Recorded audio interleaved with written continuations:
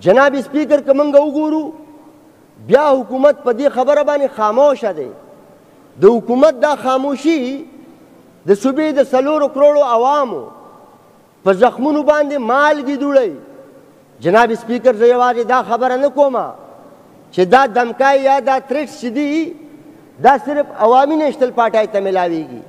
ما خو کتل چې زما رور که د پی ټی آی دی په هغه باندې هم عمله کېږي هغه ته هم د بتو کالونه راځي هغه هم په دې تشویش کې دي آیا سوال دا دی چې د دې صوبې د ولس د تحفظ د سر او د مال د تحفظ ذمہ داری په آئینی توګه باندې دا د ریاست او د حکومت دا او کنه دا که دا ذمه داري د ریاست او د حکومت ده، آیا په دې ذمه دارۍ کې ریاست او حکومت څوره خپله آئیني او قانوني ذمه داري سرته جناب اسپیکر رسولې ده؟ زمونږ ستاسو نه ګزارش دی، زمونږ ستاسو نه ګزارش دا دی، چې پرون پاکوړي کې درې سپایان شهیدان شوي دي آیا دلته پولیټیکل ویل په نظر راځي زه خو هرګز دا خبره نه کوم چې د عوامي نیشنل پارټۍ په دور کې دهشتګردي نه وه د عوامي نیشنل پارټۍ په دور کې دهشتګردي د ټول وخت نه سیوا وه سوال دلته دا را پیدا کیږي چې عوامي نیشنل پارټي د یو پولیټیکل ویل سره کلاو د عوامو سره جناب سپیکر دا ولاړه وه موږ نن ویل غواړو چې د دهشتګردۍ د دې لړۍ د ټولو نه سیوا اثرات چې دي د ټولو نه سیوا اثرات چې دي په پښتونخوا دي زه دلته تنقید کول نه غواړم خو چې زه وګورم دا ټک نه آ پاله خو نه ټارګټ کلینګ شته نه دهشت ګردي شته، نه چا ته دمتیانې ملاوېږي، نه د چا د مال او سر ته تحفظ مسله راپېښه ده، دا سوال چې دی دا به د پښتونخوا څلور کروړه عوام که د سردار حسین بابک نه دا توقع کوي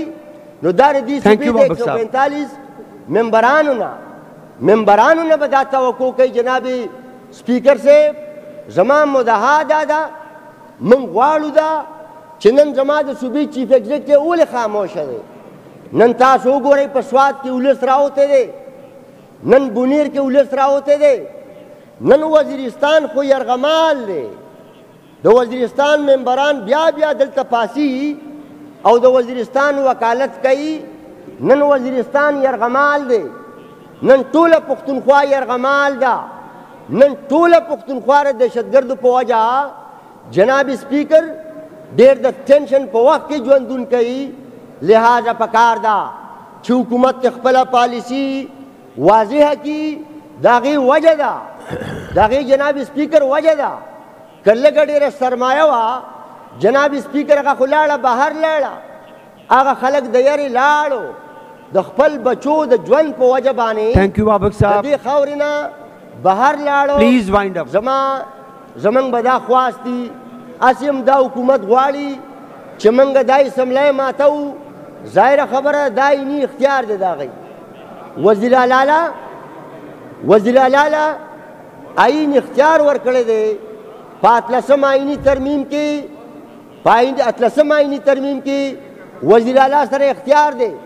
چې اسمبلی ماته کی خو د اسمبلی د ماتولو نه مخکې په کار دی چې څلورو کروړو عوامو ته جواب ملاو شي چې د عدم تحفظ په صورتحال کې حکومت کم ځای ولاړ دی حکومت کم کردار ادا کوي